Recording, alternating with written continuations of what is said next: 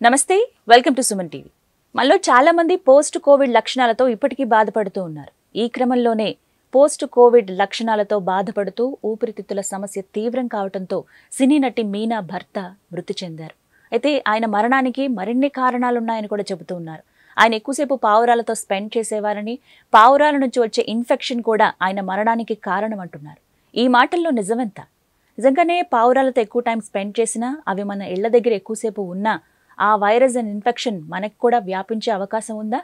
మన ఊపిరితిత్తులకు అది ప్రమాదమా? ఇదే అంశంపై మాట్లాడేందుకు ప్రస్తుతం మనతో పాటు లైవ్ కాల్లో జాయిన్ అవుతున్నారు senior pulmonologist doctor Vijay Kumar గారు. వారితో మాట్లాడి మరిన్ని విషయాలు తెలుసుకుందాం. డాక్టర్ గారు నమస్తే అండి. నమస్తే అండి. సినీ నటి మీనా భర్త విద్యాసాగర్ పోస్ట్ కోవిడ్ లక్షణాలతో మృతి చెందారని చెబుతూ ఉన్నారు. ప్రధానంగా అంటే పోస్ట్ కోవిడ్ సిమ్టమ్స్ అంటే ఎలా ఉంటాయి సార్? అంటే సిమ్టమ్స్ ఉన్నంత మాత్రాన ప్రాణాంతకంగా ఉండే అవకాశం ఉంటుందా?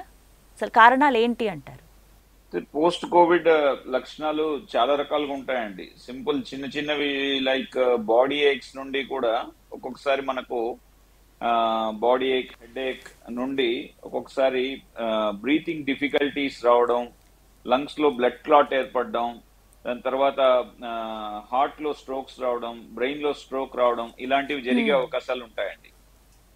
సో మనం కోవిడే కదా అనేసి విచ్చలవిడిగా ఉండడానికి వీల్లేదు. కోవిడ్ ఇప్పుడు పర్టికులర్గా ఓమైక్రాన్ అనేసి చాలా మంది చాలా నెగ్లెక్ట్గా ఉంటున్నారు. కానీ ఏం జరుగుతుందంటే ప్రతి ఒక్కసారి ఇన్ఫెక్షన్ వచ్చే కొందికి దానివల్ల క్రానిక్ కొమార్బిడిటీస్ అంటే other problems other complications post covid related issues వచ్చే అవకాశం ఎక్కువ ఉందనేసి కనబడుతున్నదండి. కానీ సార్ ఇక్కడ మనం ఆల్రెడీ ఇప్పుడు కోవిడ్ వచ్చినప్పుడు చాలా భయపడుతూ ఉంటారు. అండ్ తగ్గిన తర్వాత అమ్మయ్య కోవిడ్ తగ్గిపోయింది అని రిలాక్స్ అయిన వాళ్ళు కాస్త. ఇప్పుడు పోస్ట్ కోవిడ్ సిమ్టమ్స్ ఏవైతే ఉన్నాయో చాలా మందిలో చూస్తూ ఉన్నాయండి ఇప్పుడు ఫోర్త్ వేవ్ అని కూడా అంటూ ఉన్నారు. సో ఇక్కడ పర్టికులర్ రీజన్స్ అంటూ ఏమన్నా ఉంటాయండి? అంటే దేని వల్ల మళ్ళీ సిమ్టమ్స్ మనకు కనిపించే అవకాశం ఉంటుందంటారు? సో ఇప్పుడు ఫోర్త్ వేవ్లో ఉన్నామనేది ఎటువంటి డౌట్ లేదండి. మన అందరూ కూడా ఫోర్త్ వేవ్లో ఉన్నాము. ఫోర్త్ వేవ్ వల్ల ఇన్ఫెక్షన్స్ వస్తున్నాయి. కాకపోతే ఇప్పుడు వస్తున్న వేరియంట్స్ అనేది కూడా చాలా మినిమల్ వేరియంట్స్ అంటే మినిమల్ సిమ్టమ్స్ కాస్ట్ చేస్తున్నాయి. ఉదాహరణకు తేలికపాటి దగ్గు కొంచెం జ్వరం ఒక్కరోజు జ్వరం ఉండడం ఒక్కరోజు హెడ్ ఏక్ ఉండడం దాని తర్వాత మళ్ళీ నార్మల్ అయిపోవడం అనేది చాలా కామన్గా చూస్తున్నాం. ఇందు కారణం వల్ల ఏమంటే చాలా మంది కూడా టెస్టులు కూడా చేయించట్లేదు. సో అలానే నయం అయిపోతున్నది ఈవెన్ ఐసీఎంఆర్ ప్రకారం చూసినా గానీ ఇంతకు ముందు మనం టూ వీక్స్ పాటు ఐసోలేషన్ అవసరం అయ్యేది ఈ రోజు five days to seven days isolation ఉంటే సరిపోతుంది అనేది కూడా క్లియర్ కట్గా చెప్తున్నారు. సో అలానే ఈ పోస్ట్ కోవిడ్లో ఏమవుతుందంటే అండి కోవిడ్ వచ్చిన తర్వాత సంహౌ ప్రోథ్రాంబోటిక్ టెండెన్సీ అని ఒకటి ఉంటుందండి. అంటే ప్రోథ్రాంబోటిక్ టెండెన్సీ ఏంటంటే ఆ లంగ్స్లో వెజల్స్ కానీ కీలకమైన అవయవాలు ఉదాహరణకు మనకు హార్ట్ కానీ బ్రెయిన్ కానీ వీటిలో కానీ లంగ్స్ క్లాట్ అయ్యే అవకాశం ఉంటుందనేది గుర్తుంచుకోవాలి. ఎప్పుడైతే క్లాట్స్ ఏర్పడతాయో దానివల్ల పల్నరీ ఎంబాలిజం అని వచ్చే అవకాశం ఉంటుంది. అయితే చూసినట్లయితే అదర్ ఇంపార్టెంట్ ప్రాబ్లమ్స్ ఏమి గమనించాలంటే పోస్ట్ కోవిడ్ ఫైబ్రోసిస్ అన్నమాట. అంటే లంగ్స్ మామూలుగా ఒక ఫ్లవర్ లాగా లేక దూది పుంజి లాగా ఉండాల్సిన లంగ్స్ ఏమవుతాయంటే రాయి లాగా ఒక పత్తర్ లాగా గట్టి రాయి లాగా తయారవుతాయి. దీన్ని పోస్ట్ కోవిడ్ పల్మరీ ఫైబ్రోసిస్ అని అంటారు అనమాట ఓకే సో ఈ పల్మరీ ఫైబ్రోస్ వచ్చిన వాళ్ళకి ఈవెన్ నాలుగు అడుగులు వేసినా కానీ ఆయాసం వచ్చే అవకాశం ఉంటుంది. అండ్ ఎప్పుడో మనం లాస్ట్ బిఫోర్ ఇయర్ జూన్లో వచ్చిన ప్రాబ్లం వచ్చిన వాళ్ళు డయాగ్నోస్ కూడా అంటే ట్వంటీ ట్వంటీ జూన్లో డయాగ్నోస్ అయిన వాళ్ళు కూడా ఇప్పటికి కూడా మనకు ఇదే ప్రాబ్లం ఇంకా పర్సిస్ట్ అవుతూ చాలా మందికి నయమైనప్పటికి కూడా ఒక టెన్ పర్సెంట్ మెంబర్స్ ఇంకా కూడా మాకు అవుట్ పేషెంట్లో వచ్చి చూపెట్టుకొని వెళ్తూ ఉంటారు. అప్పుడప్పుడు ఈ ఎగ్జాజర్బేషన్స్ అనేసి ఉంటాయమ్మా. పోస్ట్ కోవిడ్ ఇన్ఫ్లమేటరీ స్టేట్ అని అంటారు. ఈ ఇన్ఫ్లమేటరీ స్టేట్ వల్ల వీళ్ళు అప్పుడప్పుడు హాస్పిటల్లో కూడా అడ్మిట్ అవ్వాల్సిన అవసరం కూడా కనబడుతున్నది.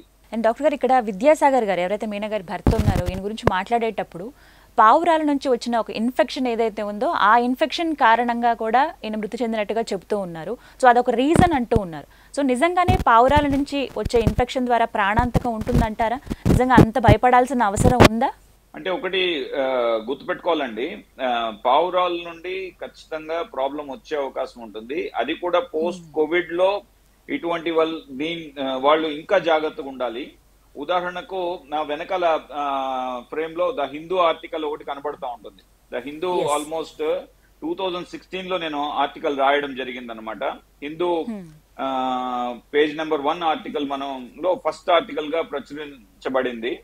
ఆల్ పాన్ ఇండియా అన్నమాట. దాని ఉద్దేశం ఏంటంటే ముఖ్య ఉద్దేశం అంటే పీజన్ పారాడాక్స్ అని అంటారు. పీజన్ పారాడాక్స్ అని అంటే ఏంటంటే పీజన్స్కి మనం ఎంతో దయతో ప్రేమతో దానికి ఆహారం పెట్టడం నీళ్ళు అంది అందించడం అనేది చాలా మంది కామన్గా పర్టికులర్గా హైదరాబాద్లో ఎక్కువ చేస్తూ ఉంటారు. సో ఇటువంటి సిచ్యువేషన్లో జనరల్గా ఏమవుతుందంటే నైన్టీ ఫైవ్ పర్సెంట్ ఆఫ్ పేషెంట్స్కి ఆర్ పాపులేషన్ uh, కి ఎటువంటి ప్రాబ్లం ఉండదు దీనివల్ల. అయితే కొందరి లంగ్స్ కానీ కొందరి ఇమ్యూనిటీ కానీ చాలా సెన్సిటివ్ ఉంటుంది. ఎవరికైతే ఈ ఇమ్యూనిటీ సెన్సిటివ్ ఉంటుందో ఆ ఇమ్యూనిటీ సెన్సిటివ్ ఉన్న వాళ్ళకి ఏమవుతుందంటే ఈ టైప్ త్రీ ఇమ్యూన్ రియాక్షన్ అనేది ఒకటి ఏర్పడుతుంది లంగ్స్లో.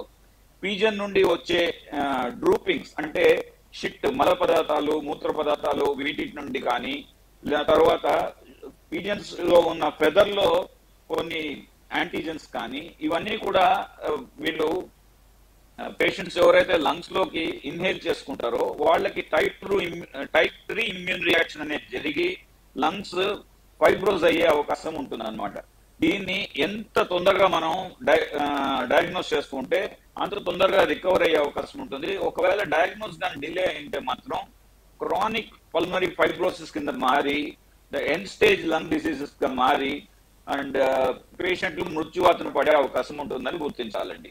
ఎస్ అంటే మనకి సిమ్టమ్స్ ఏమన్నా తెలుస్తాయండి పర్టికులర్గా ఎందుకంటే ఇక్కడ విద్యాసాగర్ గారికి ఎవరైతే పర్సన్ ఉన్నారో వారి గురించే మాట్లాడుకుంటే జనవరిలో కోవిడ్ అటాక్ అయింది కోవిడ్ బారి నుంచి బయటపడ్డారు కానీ అప్పుడే డాక్టర్లు సజెస్ట్ చేశారు పావురాలకి ఇలాంటి వాటికి దూరంగా ఉండమని. బట్ తన అలవాట్లో అంటే ఉన్నారు కాబట్టి వాటితో ఎక్కువ టైం స్పెండ్ చేశారు. సో అది కూడా ఒక కారణం అనేది ఇప్పుడు చెప్తూ ఉన్నారు.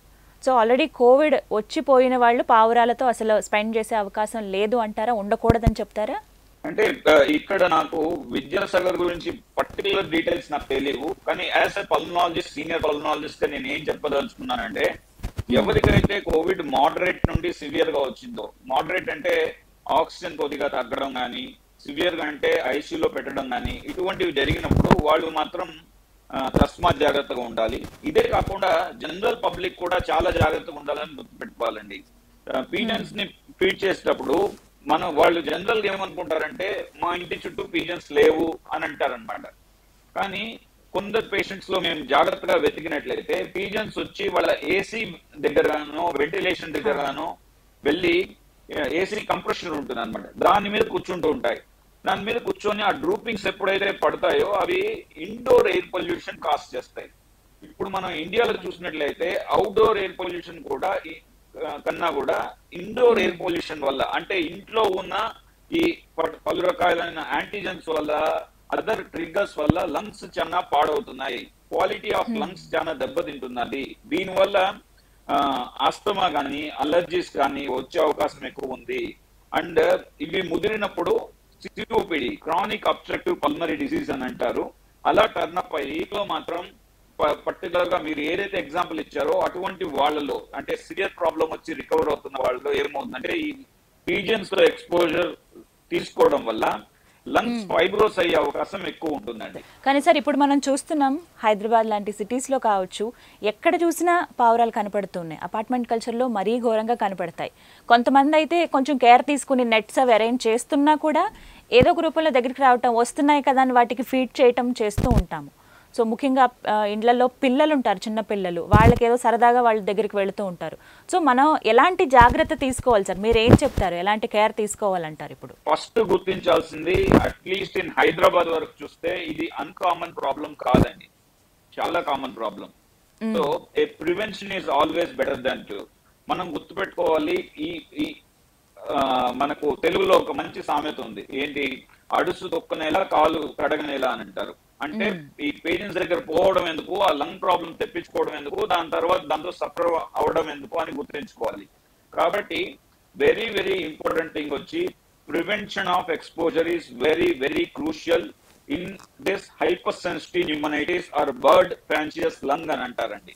సో ఈ హైపర్ సెన్సిటివ్ న్యూమనైటిస్ని డెవలప్ చేసుకోకుండా ప్రివెంట్ చేసుకోవడం ఫస్ట్ ఇంపార్టెంట్. దీనికి మేము సూచించే ఇంపార్టెంట్ థింగ్ ఏంటంటే ఈవెన్ మేము సస్పెక్ట్ చేసిన పేషెంట్స్లో ఒకవేళ మాకు చుట్టుపక్కల పావురాలు లేవు అని అన్నప్పటికి కూడా చుట్టుపక్కల నెట్ వేయించడం అండ్ అమెజాన్లో మనకు పీజియన్ స్పైక్స్ అని దొరుకుతాయండి. ఈ పీజియన్ స్పైక్స్ని మనం ఎక్కడైతే పీజియన్స్ నిలబడుతున్నాయో అక్కడ మనం పేస్ట్ చేసి అక్కడ అంటించి పెట్టినట్లయితే పీజియన్ అక్కడ వచ్చి కూర్చోకుండా ఉంటాయి. అంటే మన ఇంటిని మనం ఖచ్చితంగా కాపాడుకోవాలి. సో అండ్ అపార్ట్మెంట్లో అయితే ఓవరాల్గా నెట్ వేయడం అన్నమాట. అంటే ఓవరాల్గా మనకు ఎక్కడైతే వెంటిలేషన్స్ ఉంటాయో ఎక్కడైతే పీజియన్స్ వస్తున్నాయో అక్కడ నెట్ వేసి అవి మన ఇంటి దగ్గరకు రాకుండా చూసుకోవడం చాలా చాలా ఇంపార్టెంట్ అని గుర్తుపెట్టుకోవాలి. ఎస్ సో ఖచ్చితంగా ఈ మినిమం కేర్ అనేది ప్రతి ఒక్కరు తీసుకోవాల్సిన అవసరం ఉంది అంటారు. సో అండ్ పనిలో పనిగా ఇంకొక క్వశ్చన్ సార్ అండ్ ఇప్పుడు ఫోర్త్ వేవ్ ఎలాగో వచ్చింది కేర్ తీసుకోవాల్సిన అవసరం అంటున్నారు. సో అండ్ ఏవైతే వ్యాక్సిన్స్ తీసుకుని ఉన్నారో ఇవి సరిపోతాయా? ఇంకాస్త జాగ్రత్తగా ఉండాల్సిన అవసరం ఉందా? ఇప్పుడున్న ఈ ఫోర్త్ వేవ్లో. సో ప్రస్తుతానికి డీటెయిల్స్ చూసినట్లయితే ఖచ్చితంగా ఎవరైతే వ్యాక్సిన్ ఇంకా చేసుకోలేదో almost twenty five percentage of adults ఇంకా వ్యాక్సిన్ చేసుకోలేదని ఇండియన్ స్టాటిస్టిక్స్ చెప్తున్నాయి.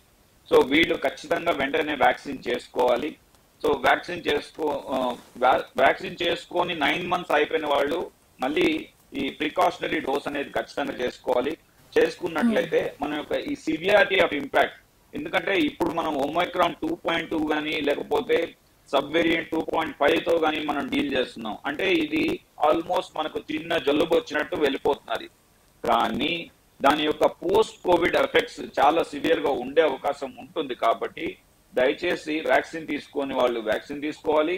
వ్యాక్సిన్ తీసుకున్నా కూడా అశ్రద్ధ లేకుండా శానిటైజేషన్ కానీ మాస్కింగ్ కానీ సేఫ్ డిస్టెన్స్ పాటించడం కానీ చాలా చాలా ఇంపార్టెంట్. ఈ రోజు క్రౌడెడ్ ప్లేస్లో చూసినట్లయితే ఖచ్చితంగా మాస్క్ అనేది చాలా మంది ధరించట్లేదు. దయచేసి గుర్తుపెట్టుకోండి ఇది చిన్న జలుబే అనేసి మీరు అశ్రద్ధ చేస్తున్నారు. దీని తర్వాత పోస్ట్ కోవిడ్ పరిణామాలు చాలా ఉండే అవకాశం ఉంటుంది కాబట్టి దయచేసి ఆ నెగ్లిజెన్స్ చేయొద్దండి. ఎవరైతే ఈ పీజన్స్ దగ్గరకు వస్తున్నారో పోస్ట్ కోవిడ్ తర్వాత పీజన్స్ దగ్గర పీజన్స్ని చాలా దూరంగా పెట్టడం చాలా ఇంపార్టెంట్ పీజన్స్ ఇంటి దగ్గర ఉండేది వద్దు. ఎవరికైతే పీజన్స్ ఇంటి దగ్గర ఉంటాయో వాళ్ళకి తరచు దగ్గు దగ్గున్న కొంచెం నడిచినప్పుడు ఆయాసం వేస్తున్నా కానీ వెంటనే మీరు ఒక పల్మనాలజిస్ట్ని కలిసి అసలు ఈ హైపర్ సెన్సిటివ్ ఇమ్యూనైటిస్ ఉందా లేదా చూసుకోవాల్సిన అవసరం ఎంతైనా ఉందని గుర్తుపెట్టుకోవాలండి. ఎస్ డాక్టర్ గారు థ్యాంక్ యూ సో మచ్ అండి. మరోసారి మాకు అవగాహన కల్పించారు. ఏంటి విషయాన్ని పూర్తిగా క్లియర్గా చెప్పారు. Thank you so much doctor గారు లైవ్ కాల్లో జాయిన్ అయినందుకు. నమస్తే అండి.